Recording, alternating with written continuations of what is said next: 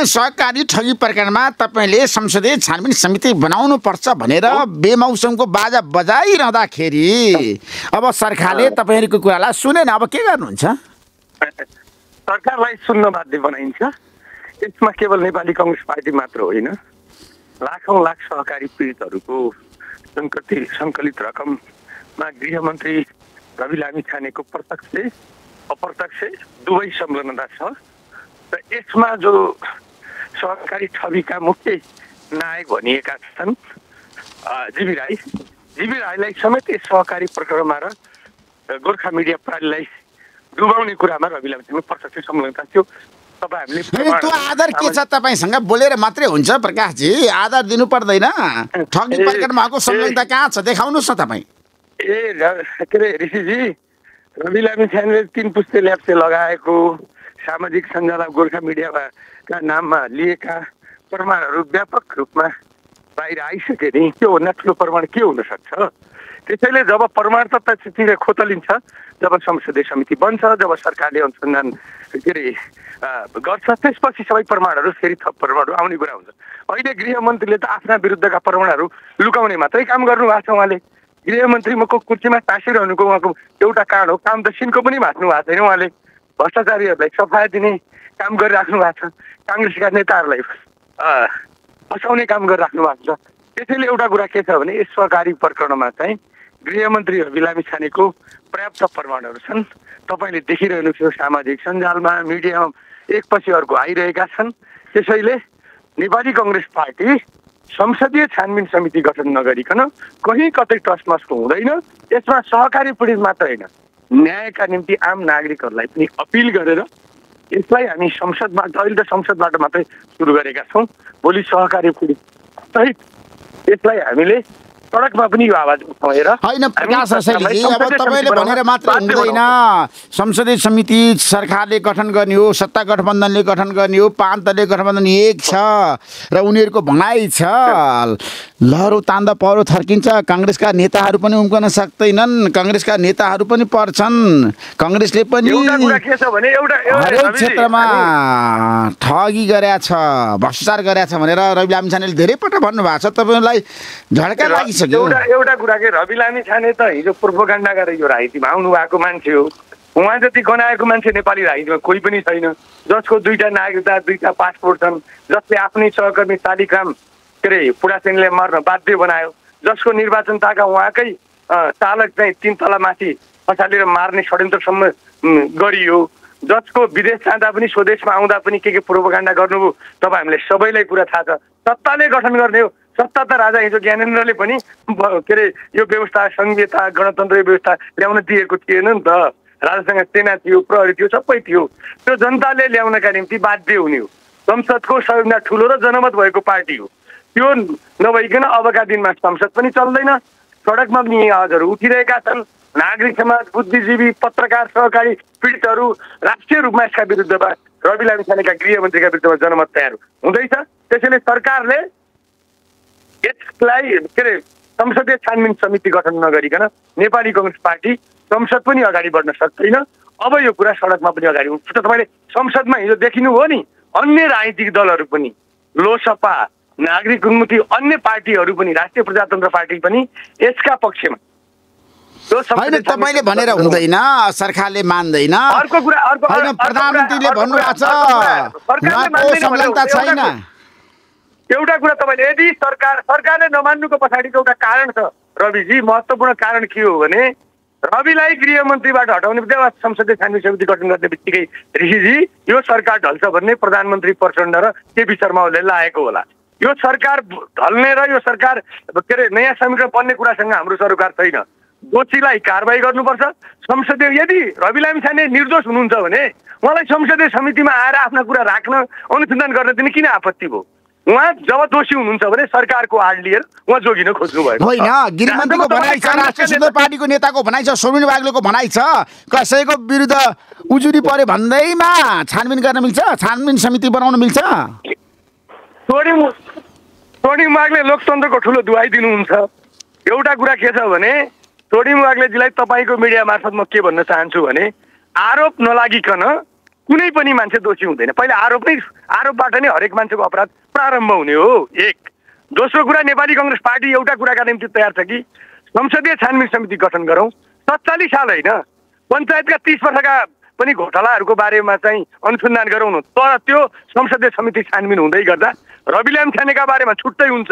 यो फास्ट ट्र्याकबाट गर्नुपर्छ। छिटो गर्नुपर्छ यसलाई टुङ्ग्याउनुपर्छ। अन्यका विषयमा चाहिँ केही समय दिन सकिन्छ। नेपाली कङ्ग्रेस पार्टी भ्रष्टाचारीलाई कारवाही गर्न चाहे हाम्रो पार्टी होस् चाहे अर्काको पार्टी होस् चाहे जुन नयाँ पार्टी हुन् चाहे पुरानो पार्टी हुन् नेपाली कङ्ग्रेस पार्टी त्यसका निम्ति होइन। तपाईँकै पार्टीका नेताहरू परेका छन् त भ्रष्टाचारी काण्डमा। के गर्नुहुन्छ? एउटा एउटा कुरा तपाईँ के बुझ्नुहोस् भने ऋषिजी तपाईँ पत्रकारितामा लाग्नुभयो। तपाईँका पनि केही कमी कमजोरी होलान्। रवि लामसाने अमेरिकासरी के अरे गर्लफ्रेन्डै खोज खोज्दै हिँड्नुभयो तिस चालिस वर्ष उहाँ। उहाँले चारवटा बिहा गर्नुभयो। कङ्ग्रेस पार्टी तिस पैँतिस वर्ष राज्य सत्तामा बस्यो। कोही मान्छेहरू भवितव्यमा कोही मान्छे नियत बस सबै मान्छे राजनीतिमा राम्रो नियतले आएका हुँदैन। कोही दुई चारजना मान्छेलाई काङ्ग्रेसमा पनि आरोप लाग्ला। त्यससँग हामीलाई डर छैन। हामीले अख्तियार बनायौँ। हामीले भ्रष्टाचार निवारण ऐन बनायौँ। फेरि हामी त्यो ऐन कडाभन्दा कडा बनाउनुपर्छ भनिरहेका छौँ। जो मान्छे जे कर्ममा लाग्यो त्यो कर्ममा त कहिले काहीँ गाडी चलाउने मान्छे दुर्घटनामा पर्छ। होइन तपाईँहरू जस्तो त व्यक्तिले। सुन्नुहोस् न भएर तपाईँहरूले जुन एकजना व्यक्तिमाथि लखेट्नु भएको छ आक्रमण गर्नु भएको छ खेद्नु भएको छ त्यो उचित छ जायज छ? एउटा कुरा के छ भने यो सरकार यो जसरी गठबन्धन विघटन भयो। यो सरकार परिवर्तन भयो सर परिवर्तन हुनुका पछाडिका कारण ऋषि तपाईँले बुझ्नु भएको छ यो गठबन्धन परिवर्तन हुनुका पछाडिका तिनवटा कारण हो। पहिलो कारण के हो भने हामीले के भन्यौँ भने यो गठबन्धन परिवर्तन हुनुका पछाडि सुन काण्डकामा अहिलेका अर्थमन्त्रीहरूको पनि अर्थमन्त्रीको पनि संलग्नता छ। त्यसलाई कारवाही गर्नुपर्छ भन्यौँ। यो विघटन हुनुका पछाडि सत्ता समीकरण चेन्ज हुनु पर्यो दोस्रो कारण हामीले के भन्यौँ के भन्यौँ भन्यौँ भने हामीले यो सहकारी पुँजीमा रवि लामसानेको पनि संरक्षण गृहमन्त्रीले कारवाही गर्नुपर्छ भन्यौँ। तेस्रो महत्त्वपूर्ण कारण के हो भने कुनै पार्टीका कार्यकर्ता माओवादी लडाकुलाई माओवादी जनविद्रोह लागेका मान्छेलाई देशको अर्थतन्त्र तरल अवस्थामा त्यसलाई पैसा दिनुहुन्न भनेर भन्यौँ। यसको भित्री कुरा तपाईँहरू बुझ्नुहोस्। यी तिनवटा कुरामा प्रधानमन्त्री प्रचण्डसँग वैचारिक नीतिगत हाम्रो असहमति थियो। त्यो कारणले यो गठबन्धन टुटेको। यो जुन कारणले यो गठबन्धन टुटेको हो त्यो कारणलाई किनारा नलाइकन नेपाली कङ्ग्रेस पार्टी संसदको र देशको सबभन्दा ठुलो पार्टी अनि संसदमा टुलु टुलु हेरेर बस्छ त रवि के अरे ऋषिजी यी नयाँ होस् कि पुरानो होस्? अपराध त अपराध नै हो नि। तपाईँ दुईवटा पा दुईवटा पासपोर्ट दुईवटा नागरिकता भएका मान्छे आज कति मान्छे जेलमा छन्? तिनलाई सोध्नुहोस् त एकपल्ट रवि- रविजीलाई बोलाएर। रविजी तपाईँ गृहमन्त्री हुन्छ दुईवटा नागरिकता दुईवटा पासपोर्ट भएका मान्छे कति मान्छे जेलमा छन् त्यसको? के अरे तिनको रेकर्ड ल्याउनुहोस् त कतिजना हुनुहुन्छ भनेर सोध्नुहोस् त। कुनै मान्छे राज्य सत्ता कुनै मान्छे सांसद मन्त्री गृहमन्त्री प्रधानमन्त्री हुने बित्तिकै त्यसलाई चाहिँ राज्यले सुरक्षा दिने राज्यले संरक्षण गर्ने आम नागरिकलाई चाहिँ त्यही कानुनबाट होइन अब तपाईँहरूको डाइसा छ नि अर्काको बारेमा तपाईँले जुन वितर्क कुतर्क गरिरहँदाखेरि आफ्नै बारेमा चाहिँ के भन्नुहुन्छ त? एउटा कुरा ऋषि तपाईँ कुतर्क भनेर यो एउटा स्तरीय पत्रकारको भाषा भएन। एउटा कुरा के भने कसैको बारेमा डाहा किन गर्नु पर्यो? गिरिजा प्रसाद कोइला नेपाली कङ्ग्रेस सभापति जतिखेर राजाको बारेमा हामीले चरम रूपमा चार पाँच वर्ष हामीले आन्दोलन गऱ्यौँ त्यसको नेतृत्व गऱ्यौँ। माओवादी जनविद्रोह र शान्तिपूर्ण आन्दोलन गिरिजा प्रसाद कोइराले के भन्नुभएको थियो? याद छ तपाईँलाई? म राजा ज्ञानेन्द्रले भनेको कुरा प्रधानमन्त्री पद भनेको मेरो लागि खुट्टाको जुत्ता हो भने हो। त्यो पार्टीका हामी कार्यकर्ता हौँ। हामीलाई कोही मान्छे गृहमन्त्री प्रधानमन्त्री हुँदै भने जनताले विश्वास गर्ने पार्टी हो नि। विगत सत्तरी वर्षदेखि त नेपालको समग्र राजनीति प्रणालीको नेतृत्व गरे पार्टी हो नि। ती तिनवटा परिवर्तन क्रान्तिको सातवटा संविधानमध्ये चारवटा संविधान बनाउने कुराको नेतृत्व गरे पार्टी हो। कहीँ कतै काम गर्ने सिलसिलामा कहीँ कतै कमी कमजोरी भयो होला। त्यो कुरा हामी जनताका बिचमा गएर के अरे स्वीकार्छौँ पनि। जनताले दिएको सजायलाई स्वीकार गर्न पनि तयार छौँ र जनता जन जनतासँग बसेर काम गर्न पनि तयार छौँ भनेर हामीले भनेकै होइन राष्ट्रिय पार्टीका नेताहरूको भनाइ के छ भन्दाखेरि अब कङ्ग्रेसले भ्रष्टाचारको काण्डको कुरा गर्न मिल्दैन। काङ्ग्रेसकै नेताहरू धेरै फसेका छन् र छानबिन गर्ने हो भने धेरै नेताहरू काङ्ग्रेसको पर्छन् भन्ने उनीहरूको तर्क छ। र वर्तमान हामी गृहमन्त्रीले भन्नुभएको छ अहिलेको अवस्थामा काङ्ग्रेस दुधले नुहाएको पार्टी होइन। एउटा कुरा उहाँहरूले ए उहाँहरू बागमतीको पानीले नुहाएको पार्टी हो रवि लामी छाने हामीलाई दुधले नुहाएको होइन भनेर भन्ने।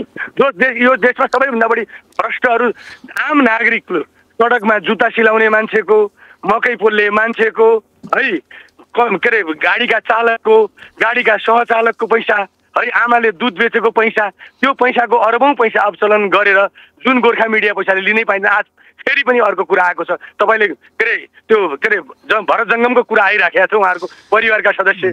जो मान्छे जन्म सरकारीको बदमासीको कुरा छ। बजेट डुबाइयो विभिन्न महिला खोजेर अध्यक्ष र उपाध्यक्ष उभ्याइयो त्यहाँ समस्या छ। एकजना पीडित महिलाले भनिसक्नुभयो। मलाई पन्ध्र। हजार तलब आउँछ भनेर झुक्क्याइयो अध्यक्ष बनाइयो। मलाई लोभमा फसाइयो। काङ्ग्रेसका बारेमा कङ्ग्रेसका बारेमा कुरा गर्ने। हामीले भनिसक्यौँ त। इतिहासले पनि र आज पनि भोलि पनि। हाम्रा कोही पार्टीका साथीहरू आरोपित हुन्छ कोही संलग्न हुन्छ नियतवश हुनुहुन्छ भवितव्य हुन्छ त्यसका बारेमा कारवाही गरे भइहाल्यो। तपाईँले पछिल्लो पटकमा तपाईँलाई एउटा कुरा सुन्नुहोस् तपाईँले। नेपालको समग्र राजनीतिक प्रणालीमा व्यवस्थामा चाहे पञ्चायतमा चाहे होस्, चाहे गणतन्त्रमा राज्यलाई सबभन्दा ट्याक्स पेयर गर्ने कुन एउटा परिवार होइन संस्था भइसकेको के अरे हाम्रो विनोद चौधरीलाई। विनोद चौधरीलाई बदनाम गर्ने गरी काङ्ग्रेससँग जोडिएका कारणले उहाँको बाउको पाला भएको पञ्चायतमा भएको घटनालाई लिएर ल्याएर बोलाएर एउटा स्टन्ट गर्ने गरी जुन पार्टी स्टन्टबाट आएको रवि लामिछाने जुन कर्म गर्नु हो त्यो त काङ्ग्रेसलाई दुःख दिने काङ्ग्रेसलाई समाप्त गर्ने काङ्ग्रेससँग जोडिएका सामान्यभन्दा सामान्य मान्छेलाई जनावरलाई समेत पनि उहाँ दुःख दिने काङ्ग्रेससँग अहिले उहाँको त्यति धेरै पूर्वाग्रह छ। तर नेपाली कङ्ग्रेस पार्टी राणासँग जितेको पार्टी राजासँग जितेको पार्टी नेपालका ती तिनवटा परिवर्तन क्रान्तिलाई जित्दै आएको पार्टी यस्ता झुसे बारुहरूसँग कङ्ग्रेस कहीँ कतै डराउँदैन। ऋषिजी लडेर जाने हो। जनताका जनताले भरत जङ्गमले एउटा कुरा बताउनु भएको छ। तपाईँले पढ्नु भयो कि भएन होइन? टेलिभिजन कार्यक्रम चलाउने सिलसिलामा रवि लामिछानेसँग चिन्जान भयो र उनलाई सरकारीको पैसा दिएको हो भनेर उहाँले भन्नुभएको छ होइन? सरकारी एउटा महिलालाई नक्कली नक्कली मोही खडा गरेर जसरी। त्यो सहकारीमा पनि सहकारीमा पनि नक्कली के अरे अध्यक्ष बनाएर एउटा विदेश जान लागेको महिला ती तिनवटा बच्चा एउटा विधवा महिला एकल महिलालाई जुन काम कर्म गरियो नि र पचास लाख रुपियाँ लिने कम नक्कली मान्छे खडा गरेर त्यसको सदुपयोग दुरुपयोग दुरुपयोग आफूले गर्ने जसरी गोर्खा मिडियामा गरियो। त्यसै गरिकन फेरि अर्को स्वयं भरत जङ्गम एउटा महिलाले भनेको कुरा त आज साक्षात्ती छ त बाहिर। भन्नै पर्दैन कहाँ तपाईँ भन्नुहुन्छ? काङ्ग्रेसले गलत आरोप लगाएको छ कामले झुटो कुरा गरिरहेको छ। आम नागरिकलाई तपाईँहरू सोच्नुहोस् न। सबै कुरा त जिबी राईले आइसकेपछि भन्नेछन् नि। जिबी राई त गृहमन्त्रीको सम्पर्कमा हुनुहुन्छ। उहाँले हिजो भिडियो कल गरेको तपाईँले गृहमन्त्री नहुँदै गर्दाखेरि आज सामाजिक सञ्जालमा कहाँ आउनुहुन्छ तपाईँ आउनुहोस् होइन म दुई वर्षपछि आउँछु भनेको। जो मान्छेसँग सम्पर्कमा छ त्यही मान्छेले लुकाइराखेको हो। होइन अब के गर्ने? त्यसैले- तपाईँहरूसँग विकल्प छैन। संसद अवरोध गर्ने कि नगर्ने भन्ने बारेमा पनि तपाईँहरू दुविधामा हुनुहुन्छ अन्यलमा हुनुहुन्छ। अहिले संसद अवरोध गर्दाखेरि घाटा हुन्छ नि तपाईँहरूलाई। संसद अवरोध के घाटा हुन्छ? कङ्ग्रेस नाफा घाटाको राजनीति गर्ने पार्टी हो। हिजो राणाका विरुद्ध पञ्चायतका विरुद्ध लड्दै गर्दाखेरि नाफा घाटा हेरे पार्टी हो। त्यसो गरे भए कङ्ग्रेस आज यो ठाउँमा रहन्थ्यो। त्यसको सबैभन्दा ठुलो पार्टी प्रदेशमा सबभन्दा ठुलो पार्टी स्थानीय निकायमा सबभन्दा ठुलो पार्टी भएको सबभन्दा बढी क्रियाशील सदस्य भएको पार्टी। अनि त्यो नाफा घाटा पार्टी त। भएको सुन्नुहोस्। नेपाली कङ्ग्रेसको चाहना यो शासन प्रणालीको स्थायित्व हो। यो शासन जनताको समृद्धिको अरू केही हुन्। काङ्ग्रेसका को नेता परे को नेता बाहिर छन् को नेता आरोपी छन्